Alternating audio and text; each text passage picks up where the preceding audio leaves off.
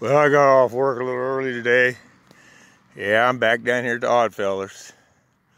But I'm using my bigger coil today. And check this out. It comes up at 37. I'm thinking another token. See that thing right there? I'm thinking that's a token. But let's find out. Let's find out what that is.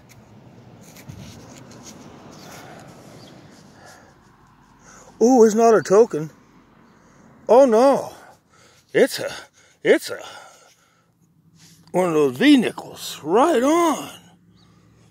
Oh, I'm in the sunlight. Hang on, man. Let's get over here. Let's get out of here for a minute. Let's get in the shade.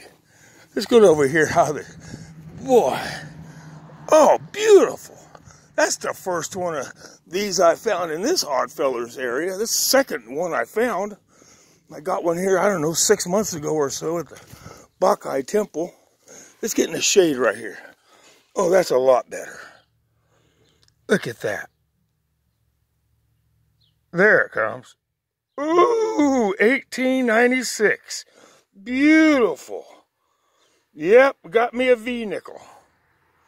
Right on. Beautiful.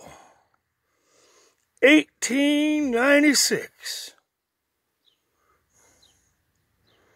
Oh man, I love doing this. I worked my butt off all day today.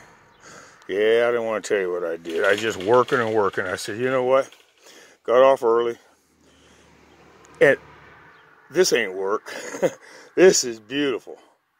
I love it. So I'm going to get back at it now. I got that bigger coil.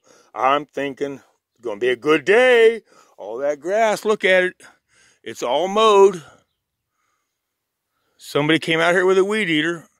My buddy had somebody come out and weed eat it down. And so it's going to make it really easy to go over this stuff. So, yeah. Beautiful. All right, back at it.